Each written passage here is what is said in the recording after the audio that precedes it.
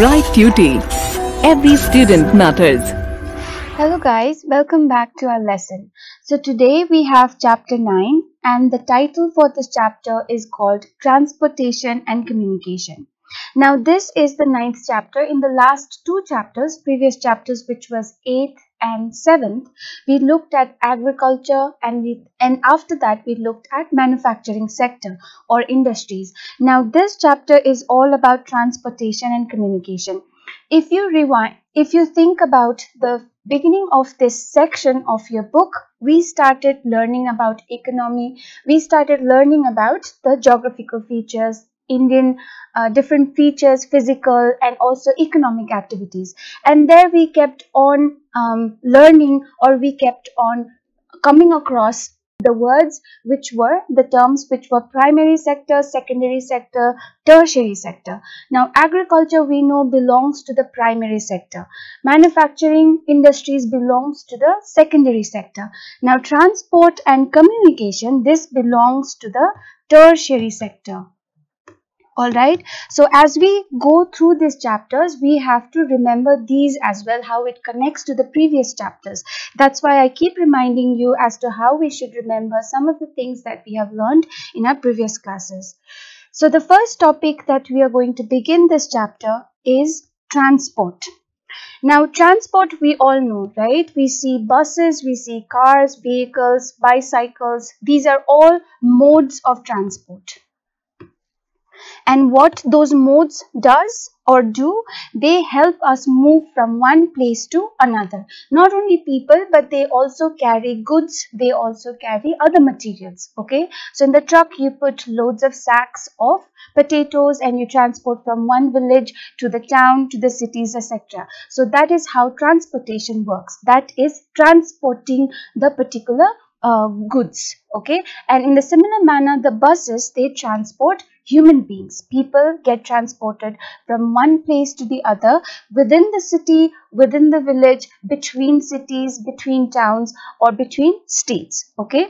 Now this is how transportation or this is how means of transport works today right? If we have to go to the market we take the bus or we take the train metro we take the car.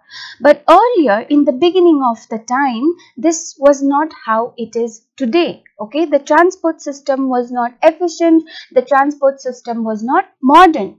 And during that time, people did not or could not move from one place to the other with ease and with so much uh, convenience. They had inconvenience, they had difficulties. So they could not move to wider area or they could not move from one corner of the country to the other corner. So their movement was restricted within the boundary of the area that they lived, within the country that they belonged to. Okay.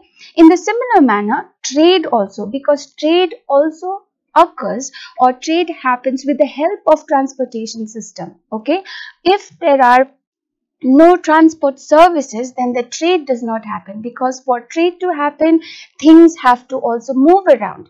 Things have to be taken from the fields where they are produced to the markets where people can purchase. If there are no cars for the raw materials for the goods which are produced in the agricultural sector to take to transport it to the market from where the human beings can buy then the uh, trading or the commerce does not take place. So that is why transport is important component of the trade and commerce as well.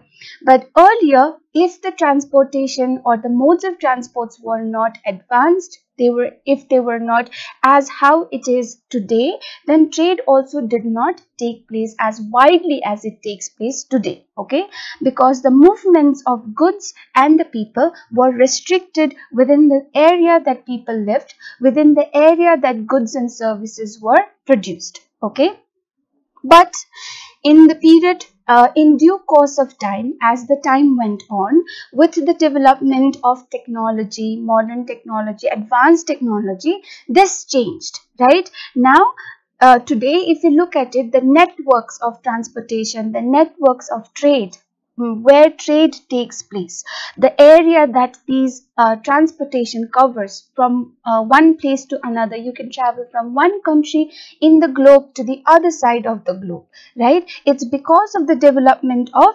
technology, is uh, because of the development of science. So as a result of that, today the transportation network is spread all over the world. You can easily uh, travel or move from one place to the other with ease. Okay, there are various modes of transport. Waterways, you can travel by air. You can take a plane or you can take a ship, you can take a car, bus, train, etc. So the distances which earlier seemed very far, okay, people because there were no proper mode of transport, they could not move properly. But today the modes of transports are advanced, modern, easily available. So the distance which earlier seemed very far, now it has shrunk.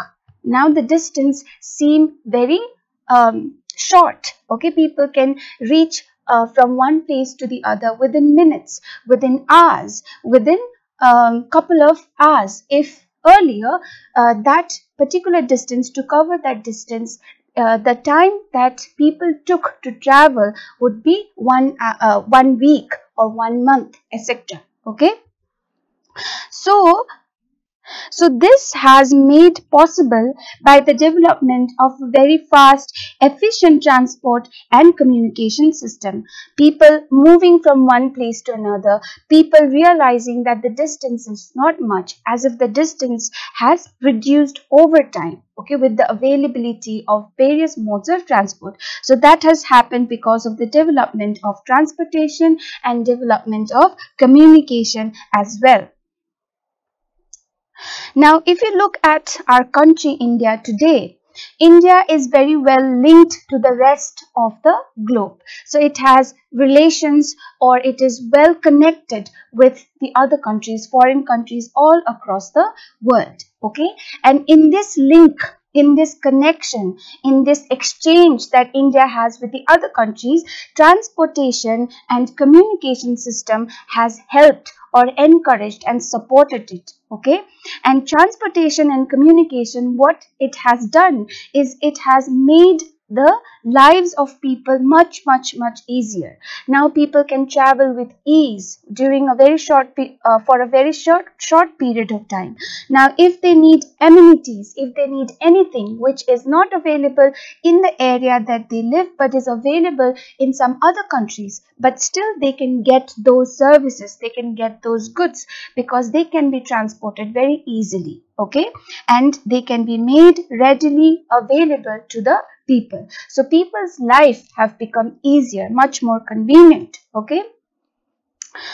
Now the means of transport and communication, they are the lifelines of our country, of our nation and our economy. We know that with transportation and communication and its development, what has happened? All the countries, our country is linked and connected, very well connected with the other countries in the world. Now that connection is transport and that connection is also trade. It's related to trade as well. The our country can trade easily with the use of transportation or with the use of transport system with the other countries which are far away from our uh, from our country. So that way what has happened there is a link of economy and that link and connectiveness or or how the connection is maintained between our country and other countries that helps in the growth and development of the economy of our country okay that is why transportation and communication are called the lifelines of our uh, nation as well as the economy. Now trade uh, both national, local and as well as as well as global or international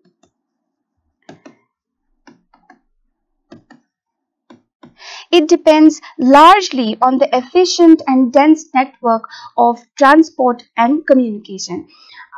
We already uh, we already learned about this that for trade to take place between one country to another country or between one village to another village or one town to another city between one state to another state within the country, the network of transportation has to be efficient. The communication system has to be dense. Okay, without that it cannot happen. So because of the efficient network of transportation and communication that we have, today we can have successful trade and commerce. Okay, at a local level, village level, town level, at national level, okay between nations or within the states of the nation and glow at a global level or international level okay outside with the foreign countries. Now there are three main modes of transport. One is air the second is water and third is land. So these are three mediums of transport okay. In the uh, next or in the following sections, we'll look at these modes of transportation in, in more detail. Now, these uh, modes of transport, what do they do? They make or they help the movement of goods and services. They help move people from one place to another. They help uh, move uh, goods that are produced by industries or goods that uh, or agricultural products produced by farmers from one place to another okay? So until now we learned about what transportation is or communication system is and how it is also the lifeline of a nation and its economy. So when we think about transport so how do we define transport okay now if we have to define transport then we can say that transport is a system in which passengers or people people and goods are carried from one place to another. So movement of goods and uh, people through a system or network is called transport. Okay. Now, since the beginning of the civilization of human beings, uh, people have been moving from one place to another in search of food in and for trade and also for living. They have kept on moving on. Okay, although there were no means to make that movement easier, they would walk, they would carry their load, but they would keep moving. Okay, people have been moving since the very beginning.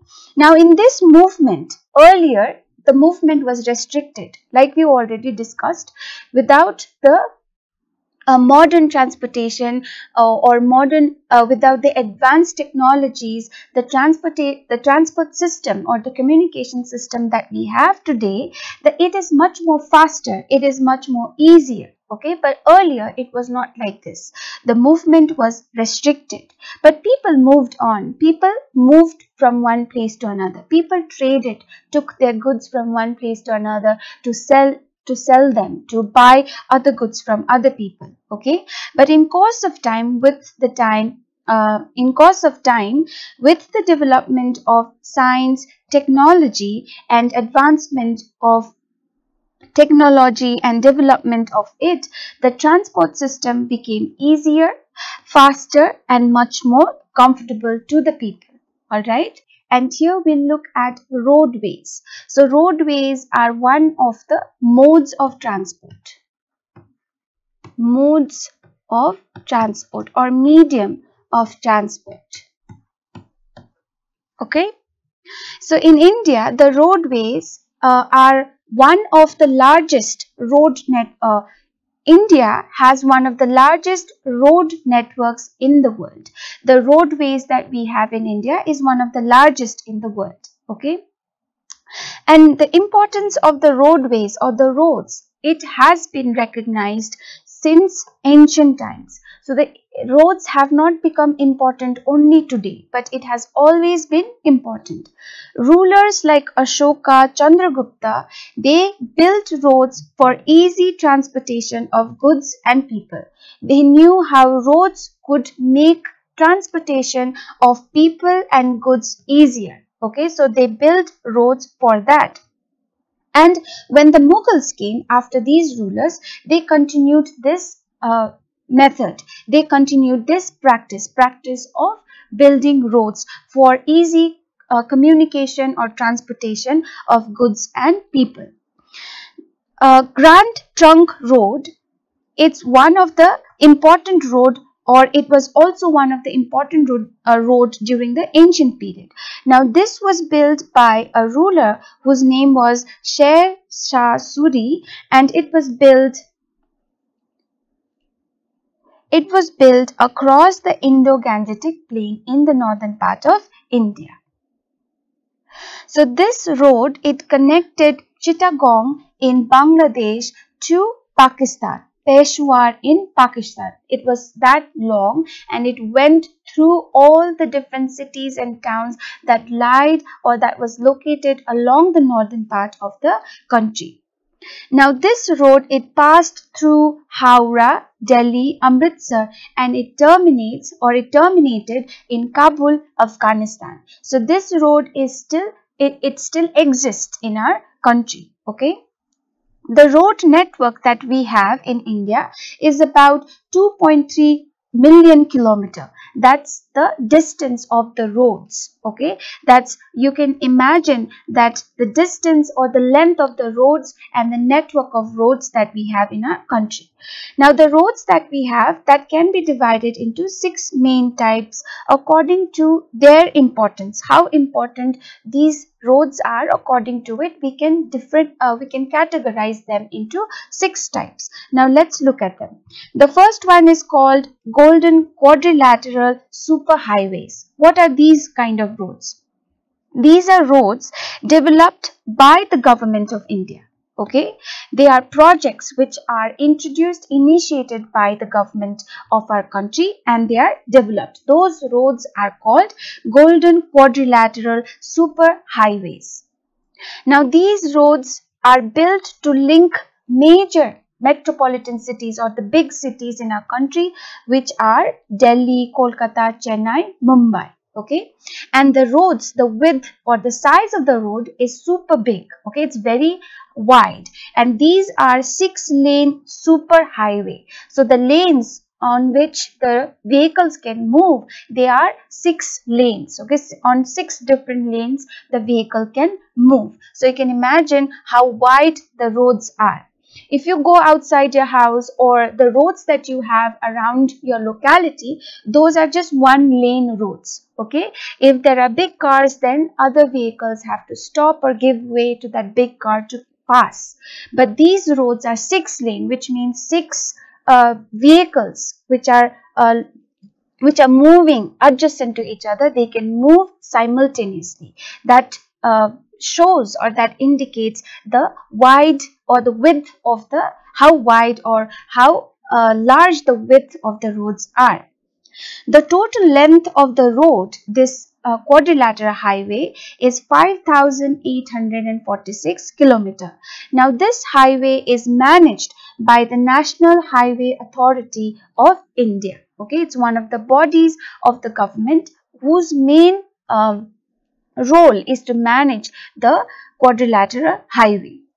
This connects major cities like Delhi, Kolkata, Chennai, Mumbai and also ports, okay, the seaports and it helps in industrial growth in all small towns because these highways we already said they connect major cities and ports but as they connect they also go through other smaller towns. So as it goes through bigger cities and smaller towns what it what these roads are doing they're connecting both the major towns and the smaller towns. So the goods and services which are transported through these roads they go through smaller towns and the ma uh, the major towns the biggest the bigger towns okay so that way it also helps in the growth of economy because goods are circulated transported and that way the trade is also taking place people can buy easily people can move easily so that contributes to the growth of the economy and growth of the industrial sector as well. And let's see how it further helps. So these highways, what it does is it brings or it transports agricultural produce from the smaller towns or the villages to the major cities and ports for exports. So we already said these roads go from smaller towns or through smaller towns and bigger towns and as well as seaports, right? So as these roads go through all these various ports and cities and towns, they also transport agricultural products and goods produced by smaller towns as well as bigger towns and takes them to ports, various ports from where the goods are then sent uh, to be sold in the markets abroad okay in the foreign countries. So you see that way there is a growth of industry there's also growth of economy of the country now this road apart from uh, contributing to the economic growth of the country it also helps in the creation of job opportunities. It provides job opportunities because these roads need construction. These roads need management. Okay. And for that they need workers. They need people to work. So, so the people come and work uh, at the construction of these highways and they also uh, they also it helps those job opportunities help them to get incomes and also better their living standard. Now as these construction works take place in these uh, highways that construction work creates demand for materials such as cement steel and other construction materials. So that way what it's doing it's also supporting the industrial sector okay? Because the industrial sector is the sector from where the steel the cement are being obtained or procured. Now the quadrilateral highway it runs from north south okay linking srinagar which is in jammu and kashmir to kanyakumari in tamil nadu so it goes from north to the south of our country okay and it also goes from the east west direction linking Silchar in Assam and Porbandar in Gujarat in west. So you see there are two corridors which goes from north and south and the other one going from east to west. So these are two main corridors which are quadrilateral highways that cut through the uh, nation. Alright. The second kind of road that we are going to see is national highways. Now these highways are roads which connect one state with another. So within our country we have various states, right? So these national highways are built for connecting one state with another. Now, the national highways constitute 2% of the total road networks. So, if we look at all the road networks of our country, the national highway constitutes only 2% of that network. Okay. But it carries 40% of the total road traffic. So, this means that although the national, uh, the although the national highways they are not many but the traffic the uh, the use of this road for transportation of goods and services and people that use is uh, much more uh, than uh, than the number of the roads okay? So that is why we say that 40% of the total road traffic is maintained or carried by this national highway now, national highways connect long distances and even pass through uh, congested cities. So, these national highways, they run for long uh, for long distances, covering long distances, connecting one uh, state uh, with another one. As it connects one state with another, it goes through many cities and most of the cities are congested. Most of the cities are big, bustling and hence they are congested okay? Uh, because of how uh, this, these national highways are used and the load of traffic uh, found on these uh, national highways these highways are also called primary road systems. Okay? Now who uh, who makes who builds these roads and who maintains the national highways it is the central public works department or cpwd in short they are responsible for laying out the road as well as for its maintenance. It runs in the north, south and east, west direction just like the quadrilateral highways. Okay. So some of the national highways, um, no. So national highway number one, which we have in our country still to, till today, that highway was actually built by Sher Shah Suri. Okay. And this highway connects Delhi with Amritsar okay so this highway still exists and it is called the national highway number 1 the next roadways that we are going to look at is called state highways now by the name itself we understand these are roadways which connect or join state capitals with towns and the district headquarters. So these roads run within the state connecting its capital, towns, major towns, big towns and its district headquarters. Okay. This state highways, they play an important role in linking with linking the states with the national highways. We know that national highways run across the nation. Now, the state highways, they play an important role uh, to link the state with the nation. Okay. And these state highways are constructed and maintained by the State Public Works Department or in short PWD. Okay. The next road is called District Road. Now District Road connects the district headquarters of the state with other places of the district. So each state in our country has many districts and the district roads built in one particular district connects the district headquarters with other places within that district. Okay. So it links, uh, it acts as link between the district road and the state road. Similar to how the state highways connect the state with the national uh, national highway. In the similar manner, the uh, district road acts as a link to connect the district roads with the state road. Now, the district roads are maintained by Zilla Parishads. Okay. The next kind of roads that we are going to look at is called other roads. Now other roads are basically village or rural roads, roads which are built or found in the villages or in the countrysides. These roads, they connect rural areas and villages with the towns. So these roads main role is to connect the villages with the towns and the cities. Under the Pradhan Mantri Gramin Sadak Yojana, which is initiative of the government,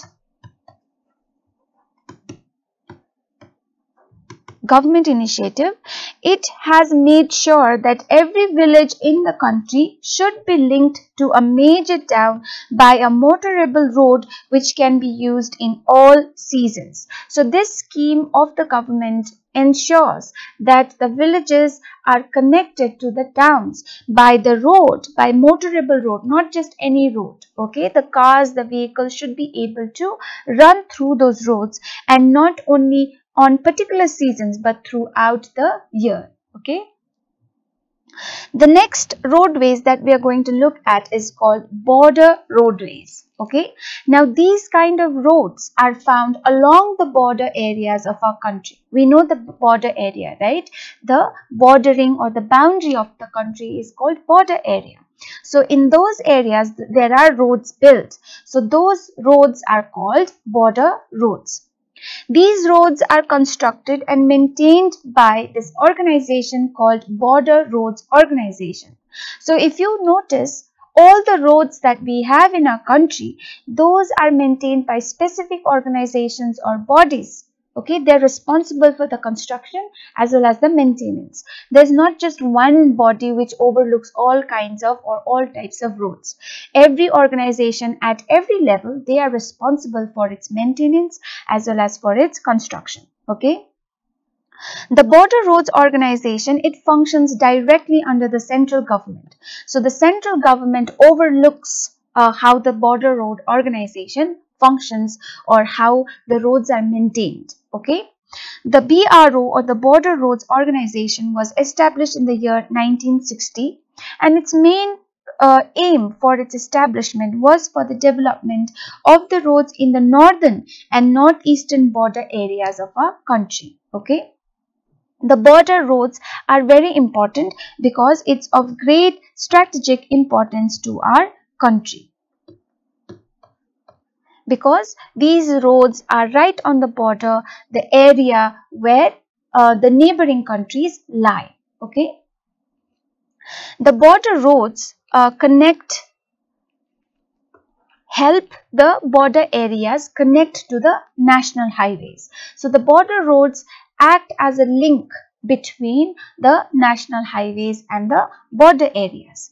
It provides, the border roads provide accessibility in difficult terrain. If the physical landscape, if the, if the landscape is very difficult, hilly, rocky and it becomes quite difficult for making sure that the transportation and communica communication system uh, is established there or it has well uh, connected network of transport then the border roads are built in those areas and the roads provide accessibility okay so these were various types of roads. Now we'll look at importance of the road transport. We learned how the road transportation are, right? How there are different kinds of roads. But now we'll look at why is it important? Why are roads important? There are many reasons. First, it provides a link connection between railway stations, air and sea ports and it is also used as feeders to other modes of transportation. So the roadways provide connection or link to the other modes of transport which are railways, sea transport and uh, airways okay? And it also acts as feeders okay? It feeds goods and services to the other modes of transportation. From the road it goes to the seaport it goes to the uh, airway airways it's taken to the railway station or to the airports etc okay? So it's feeding it's feeding to the other modes of transport. That's why it's called feeders. Now roads connect mountains and desert with other parts of the country. Roads can be built anywhere okay? So that is why it connects mountains deserts plains all uh, kinds of region okay? They are connected by road. And roads are cheap and easy both in construction as well as maintenance. They are not so expensive like the other modes of transportation. It connects markets, factories with farms. So roads help in connecting the markets, help connecting the farm uh, agricultural sectors, the farming areas, the factories as well as the urban areas or uh, areas, cities or towns where people live and where people uh, trade or sell their goods. Transportation offers best uh, transportation service okay for passengers for people and also for goods for over short distances. If you want to travel a short distance then the roadways provide the best service. It's best to use the roadways okay? Roadways as the means of or mode of transportation. If you have goods which need to be transported for a short distance, then the uh, roadways provide the best transportation system. And if the goods are perishable, okay, if the goods cannot be kept for a longer time or if the goods are very fragile or fragile nature, it can be broken easily. So that means it cannot be uh, it cannot be kept in a vehicle or in a uh, it cannot be taken on a means of transport which will take a long time to reach the destination okay? So in such cases the road transportation acts uh, as a very important mode of transportation for transporting perishable goods over short or medium distances okay? Not for long distances but for short and medium distances transportation of perishable good goods are good uh, perishable goods can be done through the road transport. So these were the reasons why the road transportation is very important. But the road transportation also has problems. It has challenges. Let's look at them. The road networks are inadequate. Although we read that the road networks are vast, there are so many roads built connecting different towns ports, cities, villages in our country, but still the road networks are inadequate and it does not meet the needs of the people. People still have difficulty in communicating. People still have difficulty in moving from one place to another. The national highways which are built in our country, they were built long time ago and hence they are not as wide as it should be. Okay. And most of the old bridges or culverts that are in between the roads okay? They're also very low and they are old. That acts as a um, hurdle in the smooth movement of people and goods. Okay? Almost half of the roads are unmetalled and hence their usage during the monsoon is limited. The roads are built in such a way that during monsoon it's washed away it gets washed away. Had the roads been metalled if the metals were used for the construction or during the construction of the roads then during monsoon with heavy rainfall it will not get washed away. But because the roads are unmetalled during heavy downpour of rain they are often washed away okay? And many of the roads pass through congested cities towns and this also creates problem. This does not allow smooth transport of people and goods.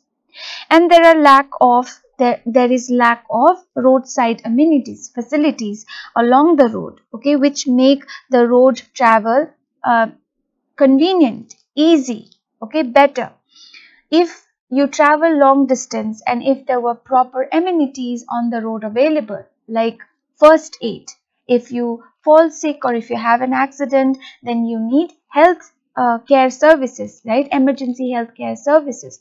If they are not there then you have problem. If in case you face any medical emergency if you travel for a long distance and you need food and if you have not carried food and there are no restaurants there are no food stalls along the road then you have difficulty so these amenities are also not available on the road because of which traveling becomes difficult and uneasy so here in this map you can see the different roads that connect different cities or goes through the length and breadth of the country. So you see these roads connect the country from east to west, north to south, as well as other major cities and towns of, of our country. So with that we move on to the next topic and this topic is called railways, another means of transport. Okay, the railways that we have in India is the largest public sector undertaking in the country. Railways is the public sector undertaking. It means that it is controlled and owned by the government. Okay. Railways provide the main artery of inland transportation in India. So the transportation within the country that in that transportation or in that process of transportation railways play a major role. It's a very important component of the inland transportation of india. Inland transportation meaning within india. The transportation within india okay Railways provide principal mode of transport for freight and passengers in India. So, it is a very important mode of transportation both for goods and people. Okay. It helps in the movement of large scale and long distance goods and people. Railways are best for long distance travel, for long distance transportation of passengers or people and also goods. Okay, railways was first introduced in India in the year 1853 and the first railway line ran from Mumbai to Thane and it covered a distance of only 34 kilometers. By the time India got independence, the railway lines had grown to 42 rail system okay there were 42 rail system and in 1951 the railways was nationalized as one unit it came within the government okay as one unit it railways comprised of one unit Today, railways have been divided into 17 zones. So, railway network is very vast and very intricate. Okay it goes to uh, all parts of the country. It goes to all regions of our nation. So it is very difficult for management of each and every railway track or railway line. That's why it has been divided into various zones so that people or officials or the government uh, government of that particular zone is responsible for the maintenance and for also the monitoring of that particular railway lines in that zone okay? So for the easy uh, way for for making monitoring of railways for making management of railways easier the government has divided it into 17 zones. Railways have acted as a as one of the best integrating factor of our country for the past 150 years. So in the past since the past years okay since past 50 years railways have acted or played a major role in integrating the people integrating different parts of our country. It has brought together the people living in different parts of the country. People can easily move from one place to another. Goods can easily be transported from one place to another. Because the railway network is so vast and it it goes through all states all villages and all towns in our country. It connects far-flung uh, places, the, uh, the places which are far away from the cities. They're all connected and it has brought people closer to each other because the connectivity is now much more better with the establishment of railways. People feel more connected because they can easily move from one place to another because the mode of uh, transport is railways. Okay. Now, Indian railways have three different gauges. What is a gauge? Gauge is the distance between two metal rails on which the wheels of the locomotive or the rail roll or run. So, this is the railway track, right? This is how the railway track looks. Now this is called the gauge, this here, which I'm shading. This is called the gauge, okay? The distance between the two metal rails on which the wheels of the locomotive, here the wheels of the locomotive run, right? So the distance between these two uh, metal rails are called gauge. Now Indian uh, in Indian railway system, the Indian railways, the rails or, or, the trains, they have three different gauges. They are called broad gauge, meter gauge, narrow gauge. Okay. So the broad gauge, they run the longest. The meter gauge lesser than the broad gauge. The narrow gauge lesser than the meter gauge. Okay.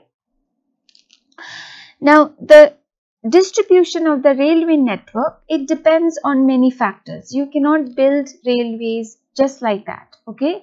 It depends. Its build uh, its construction or its laying down uh, is dependent upon various factors. Factors like physiography the physical feature of the landscape the economy okay how the economy of that area is whether there are uh, agriculture sectors where farmers produce agriculture products whether the areas have industrial uh, large industries which produce industrial materials whether the area has big cities uh, or urban centers. So all that factors which are physiographic economy and administrative factors these um, are dependent or these matter, these influence the distribution or construction of railways. Now, wide, when there are wide rivers, they cannot be crossed without bridges, right? If there is wide and deep river, then a bridge has to be built in order for the railway line to be connected from one side of the bridge, uh, from one side of the river to the other side okay? So in laying down or or in building the railways if one has to if the government has to build also bridges okay uh, along with the railway lines then that adds to the cost which is already so much for the construction of the railways okay? Uh, some regions like himalayan region which is a mountainous terrain, right? The physical feature of the Himalayan region is mountainous. There, such terrain uh, acts unfavorable. Such terrains are not good for the laying of the railway lines it's quite tricky it's difficult if the areas are plain and not so hilly there the railway lines can easily be laid down but if the regions are mountainous then it becomes difficult Similarly, the hilly terrain of the peninsular regions, we know the peninsular regions also have hilly terrains. The Western Ghat, the Eastern Ghats, the plateaus in the Deccan uh, region, these also uh, act, uh, these also prove difficult for the laying down of the railway tracks. Now, the floodplains of Assam, Bihar, they also create difficulty, okay, because here flood is very common okay so the railway tracks can be easily washed or damaged because of the flood so here also the difficulty of maintaining or constructing the railway becomes uh, difficult the sandy plains of western Rajasthan, forest areas of Madhya Pradesh, Ch Chhattisgarh, Orissa and Jharkhand and the swamps of Gujarat also make it difficult for the laying of the railway tracks because of the physical features of those uh, regions. Okay. The deserts of Rajasthan and the hilly tracts of Sayayad, Sahyadris also act un unfavorable or prove unfavorable for the development of the railways because the um, terrain does not suit the construction of the railways. So, there are some problems even with the railways okay? And let's see what are these problems. The first one is ticketless travelers. In the railways there are many people who travel or try to travel without any ticket. So when we travel or board the train or try to send goods through the railways without paying for the ticket then that leads to loss of revenue loss of revenue okay? Second is thefts and damages. People sometimes try to steal uh, some of the things which are which are present in the railways or the trains okay? So those thefts and some people also try to damage the property of the railways. That also causes problems okay and third is chain pulling. So every chain has a chain to pull. This is this is uh, this is made in such a manner that in case of emergency in case of emergency people can use this chain to pull so that the chain can come to a stop okay? But instead of using it only in the cases of emergency people keep pulling the chain without any situations of emergency arising. So that leads to carelessness that also leads to damage of the railways. So these are some of the problems faced by the railways